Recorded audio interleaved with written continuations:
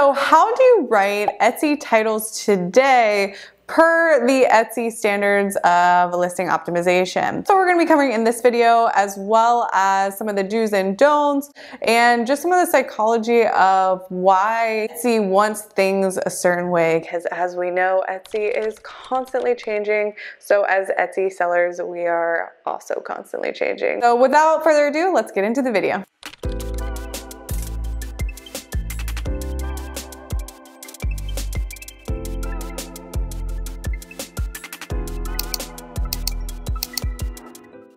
Welcome back guys, my name is Hannah Gardner. If you're new to the channel, I sell mainly on Etsy and Shopify. I have built multiple brands via both sales channels and I've just been docking, docking, documenting that here on YouTube. So if that is something that you're interested in, make sure you go ahead and subscribe to the channel. So what is the proper way to be writing your titles for your listing? So the first thing I just want to preference this entire video with, if there is something to stress over per your listing optimization, I cannot stress enough. The most important thing is your photography, your imagery, and your videography. That is the most important element besides just having good quality products, obviously. But if there's one thing to stress over when it comes to listing optimization, most important first is photography and videography, making sure that you are the most competitive and have the most compelling imagery compared to your competition. With that being said, I'm not saying that keywords are not not important. They're definitely important and it's always in your best interest to set yourself up for the best case scenario when it comes to your keywords. So what does this look like today per Etsy standards? According to Etsy,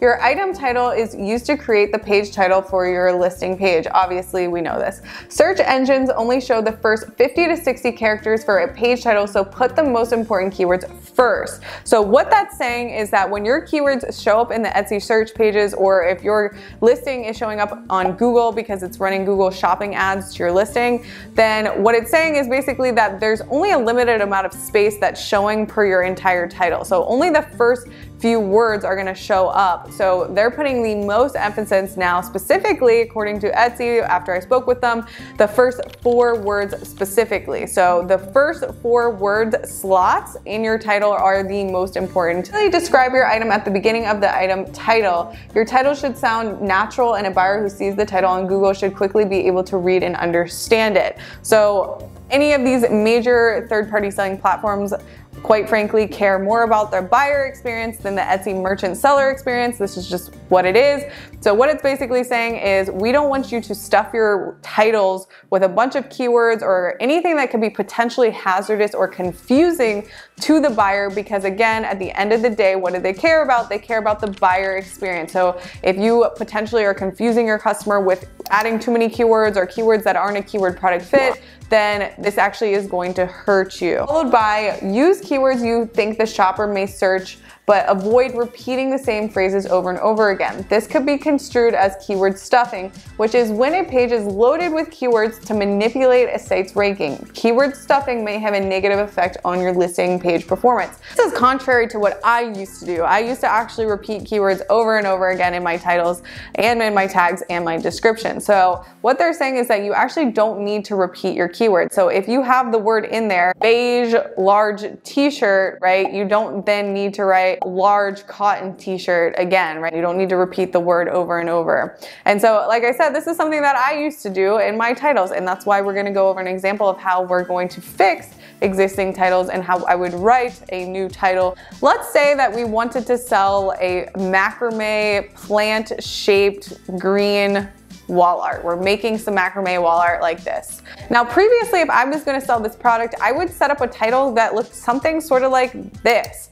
Now there's two things that I can identify in this title that we can optimize or fix in a sense, right? The first thing is, as you can see, all these highlighted words are being repeated. So we can consolidate this listing and make room for more words to increase our searchability on the Etsy search pages. So we're going to consolidate this and make more room for new words to increase searchability because we don't have to repeat our words over and over again. Now, the second thing that we can improve upon in this listing is, as you can see, all the long tail keywords are being divided by lines. Now, these lines in the eyes of Etsy are actually actually being counted as their own word. If Etsy cares about those first four words specifically the most, then that if that fourth word is just a dashed separator, technically wasting that spot and Etsy's counting that as a word instead of just a dividing line. So what we're gonna do is we're actually gonna take out all these dividing lines and we're gonna separate our keyword phrases by commas instead. Now, when it comes to doing the actual keyword research,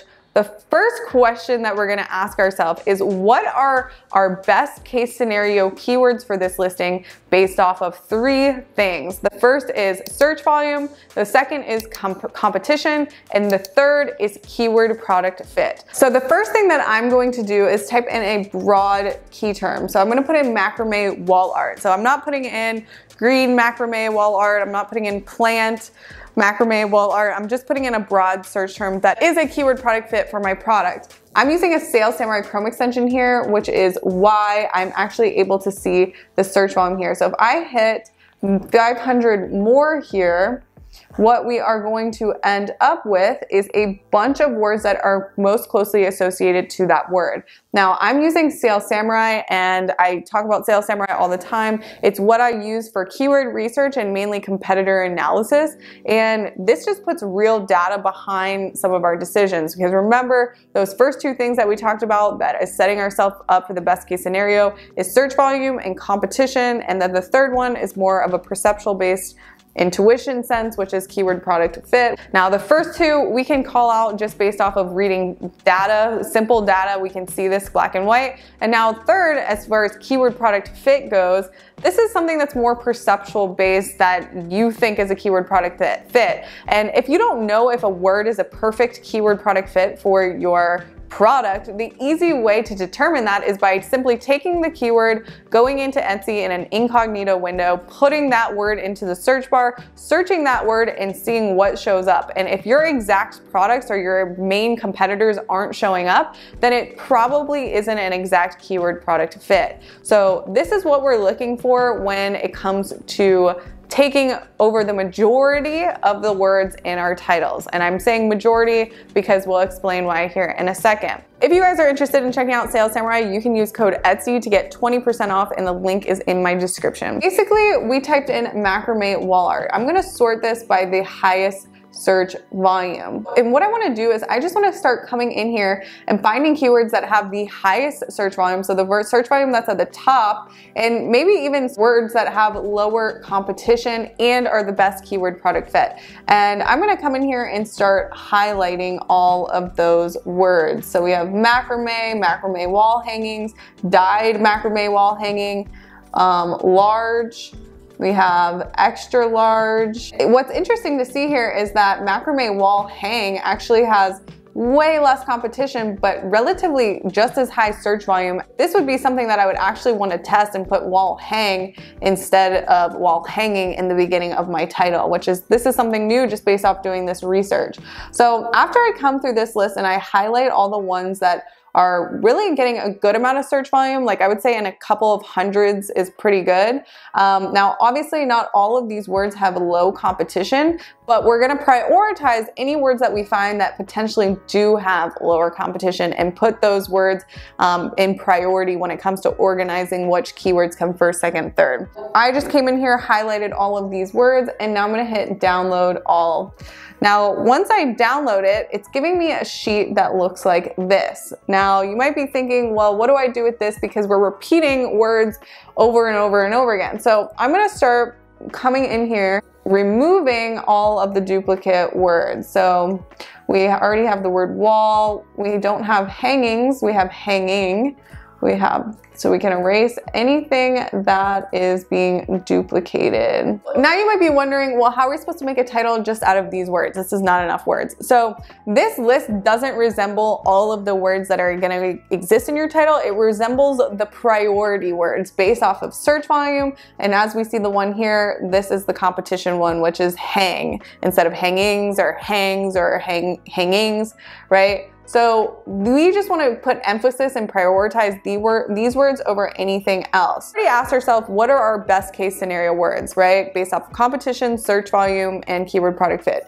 These are arguably our best case scenario words as far as having the most search volume and keyword product fit and competition, right? But obviously there's other words to be found that can be put into our titles. So the second question that we need to ask is, what are other words we can use to increase searchability, right? So not necessarily our perfect keyword product fit, but are, that are words that we can add in there that we could potentially rank on certain pages for and get purchases for because you know, we fall into that broader category. So let's just start with the beginning of this title. So I actually like the idea of doing mac macrame leaf wall hang since hang is actually a way, way less competition in comparison to wall hanging. So I am gonna actually keep that as the first four words of our title.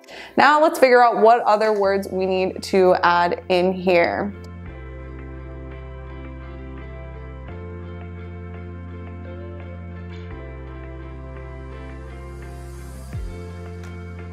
So now we just added in here dyed plant woven hanging. So now we got the word hanging, we got the word dyed, and we got the word woven, right? Now we're gonna move on to the next one because we're kind of running out of our core words here.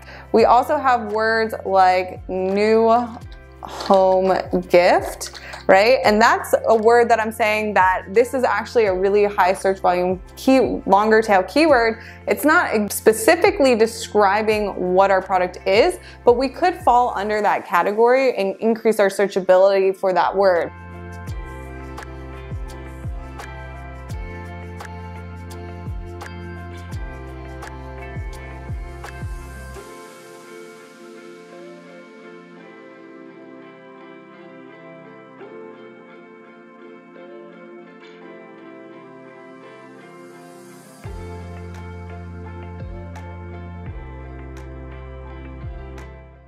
We actually go ahead and we put this into our title, we see that we only have 12 spots left. I actually got in quite a few words without looking like we're stuffing the keywords or anything like that. So we've ta basically taken this to this. Keyword research shouldn't be anything that's like stressful. Asking ourselves those two core questions. What are our best case scenario words? Followed, what are other words that we can add to increase visibility? So I hope you got some value out of this video. If you did, make sure you give it a thumbs up and comment any of your questions or concerns down below and I will see you guys in the next video. Bye guys.